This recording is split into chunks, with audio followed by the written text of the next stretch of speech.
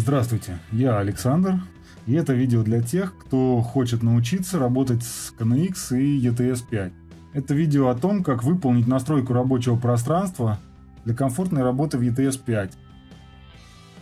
Для этого кликнем по вкладке ETS основного меню и попадем в пока единственную панель рабочей области, панель здания. К слову, после создания нового проекта перенаправление на эту вкладку происходит автоматически. Необходимую рабочую панель можно открыть двумя способами. Первый – через вкладку «Рабочее пространство» основного меню. Нужно выбрать опцию «Открыть новую панель» и далее выбрать интересующую рабочую панель устройства. Панель устройства интересна тем, что через нее можно видеть, какие устройства какая информация уже загружена, а в какие нет – еще здесь э, есть уже готовые динамические папки, которые могут быть весьма полезны. Например, папка «Измененные устройства». В ней будут отображаться те устройства, в конфигурации которых происходили какие-либо изменения. Папка «Не присвоена линии». Тут будут отображены устройства, которые были добавлены в проект, но не добавлены ни на какую линию.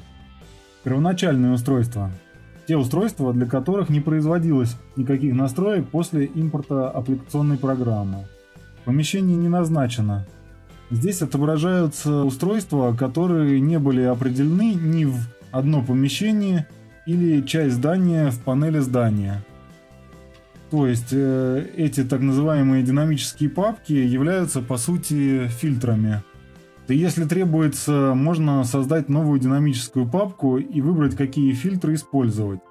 Например, создадим папку «Тест», которая будет отображать только устройство производителя, ну, например, МДТ.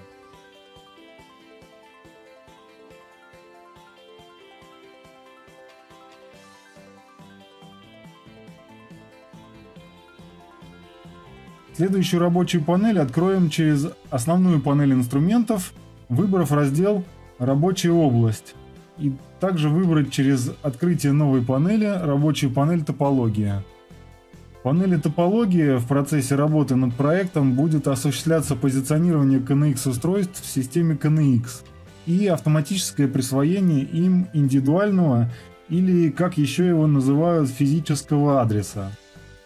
А я напомню, что индивидуальный адрес как раз и характеризует местонахождение устройства в конкретной области топологии и на какой линии в этой области это конкретное устройство находится. Здесь же потребуется еще одна рабочая панель групповые адреса. В этой панели как раз и будут определяться и добавляться функции KNX проекта. Очень удобно, когда можно работать в одном окне с панелями групповые адреса и топология одновременно. Это позволяет осуществлять необходимые связи в процессе настройки системы.